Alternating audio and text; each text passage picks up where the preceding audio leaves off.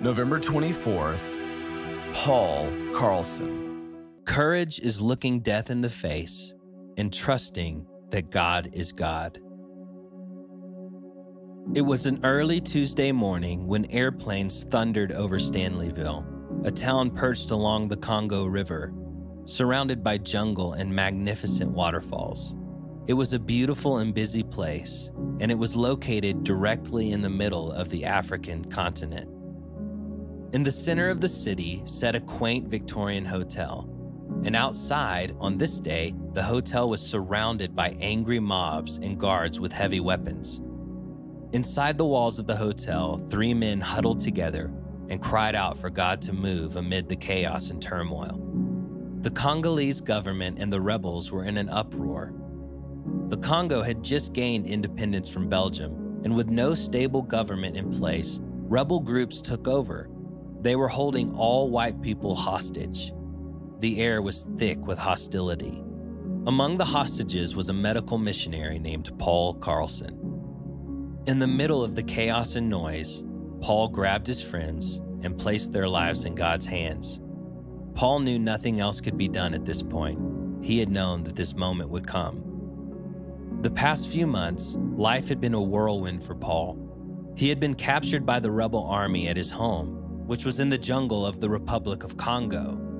That house was where he served as a doctor to many of the locals, providing a skill they needed. He loved them with everything in him. Now, at 6 a.m. on Tuesday morning, the U.S. Air Force thundered overhead and woke Paul. He said, In days like this, we certainly have to leave the future in God's hands. Only two options remained they would be rescued, or the rebels would use them as human shields against their opponents. The hotel that housed the captives was heavily guarded, and that made escape impossible. For a moment, everything was still. But then the guards rushed in and herded the captives out onto the street. Bullets were flying, and the rebels were shooting every which way. It was total chaos. In the gunfire, captives were hit with stray bullets, so many started running for protection, as did Paul and his friend Chuck. When they were running from the gunfire, they found a wall with a narrow space to fit through, but only one person could fit at a time. Paul ran to his friend Chuck and said, Go! Chuck leaped over the wall, turned around to grab Paul, but it was too late. Bullets hit Paul's body, and he fell to the ground. One of Paul's friends saw his Bible and removed it from his pocket. These short but powerful words were underlined Amen. Come, Lord Jesus.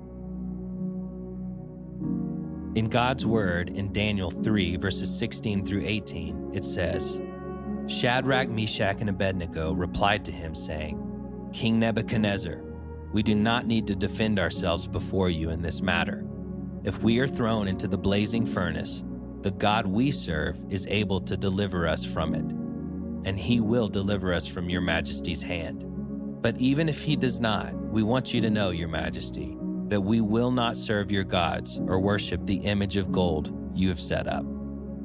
Having super strength has its perks around the house, like this. But my powers don't help me overcome my struggle with pornography. The problem with quitting porn is that it doesn't matter how strong you are. It won't work if you try alone. Go to covenanteyes.com today and sign up with their 30 day money back guarantee. Being free of porn is worth it.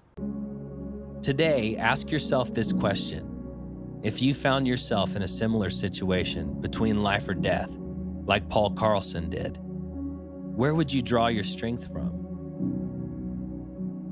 Courage is looking death in the face and trusting that God is God.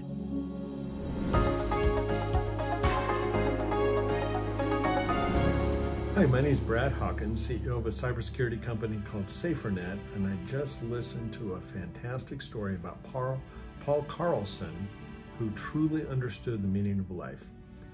Uh, he gave up uh, his life first, the life of luxury that he had living in California, and secondly, his life as he followed God's, God's will in Africa. He understood that his life uh, was a life that began here, but it only began eternity. It wasn't our entire life. Uh, he chose to live life with eternity uh, in mind. His life ended a lot faster than he probably would have thought, but he is now living in eternity with all of his rewards intact. God's perspective is both heaven and on earth, where our perspective is just simply what we see here on this earth. God knows his plan for us, sometimes what we would say blessed, and sometimes joining God in his suffering, but he knows what he's going to reward us with. And yes, sometimes that special reward comes uh, from suffering here on this earth for his name. 2 Corinthians 4.17 says, uh, For our present troubles are small and won't last very long, yet they produce for us a glory that vastly outweighs them and will last forever. Uh, Ruth 2.12 says, May the Lord repay you for what you've done. May you be richly rewarded by the Lord. Uh, Revelations 2.10 says, Do not be afraid for what you are about to suffer. I tell you, be faithful even to the point of death, and I will let you live a victorious life, uh, unending, glorious future.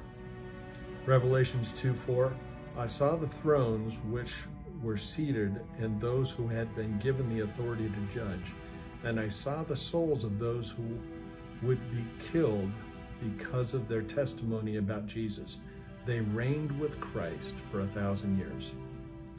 Um, I challenge you, your perspective is typically just here on this earth, but change your perspective to include God's perspective, including heaven.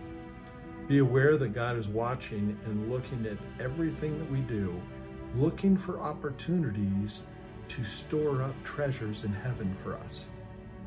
And yes, what we do here on this earth does matter in heaven. He will reward you for your obedience. Thank you.